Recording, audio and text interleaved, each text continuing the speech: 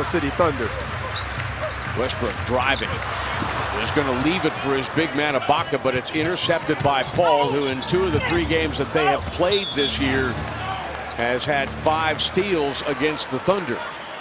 Paul a little slow to get up. He's had some knee and ankle injuries. Remember, at the very end of the ball game last Monday against the Thunder, he suffered a foot injury and really was placed in on their winning play as a decoy. So some concern